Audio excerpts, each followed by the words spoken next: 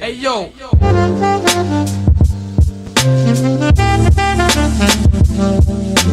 careful when you're with that woman. Women are all liars.